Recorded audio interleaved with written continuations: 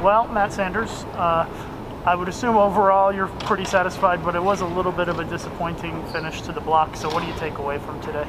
Yeah, I mean, I, I felt like I threw it pretty well today. Um, I found a couple really good pairs, and I, I, was able to take advantage of a few a few frames, and then a couple of games. You know, I kind of feel like I let some get away.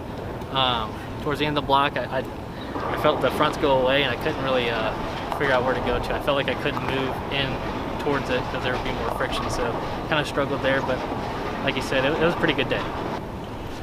Um, obviously, you've won a title um, on the PBA Tour, but um, looking at your stats, it's been a little bit of a rough road, right? I mean, sure. does it feel good to get out here and be putting up some numbers this week?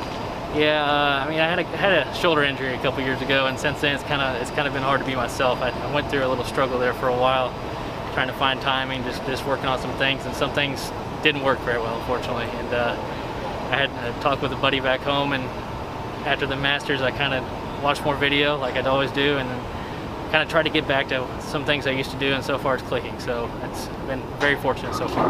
What anything specific you want to share with us? That you uh, changed a little bit my timing, my push away, uh, kind of how I, I used to hold the ball, a little different. Sounds weird, but uh, that's that's kind of it. Just kind of focused, lets me roll a little more, which is helping me today, and uh, ho hopefully it continues tomorrow.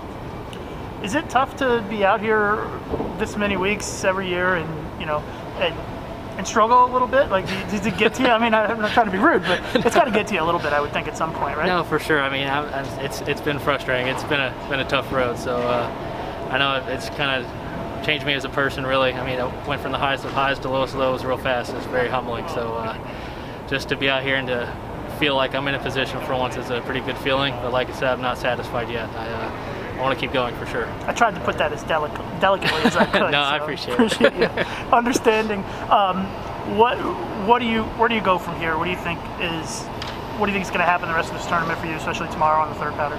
Uh, I, I, don't really know. Uh, my, my, look was okay in practice. Uh, a lot of people think scores will be high, and I, I could definitely see that. So uh, I'm not really going to worry about it tonight. I kind of just want to come in with a fresh mind tomorrow. I drilled a couple of balls specifically for this pattern.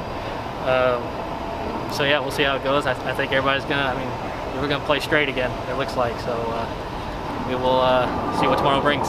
Thanks, man. Thank you.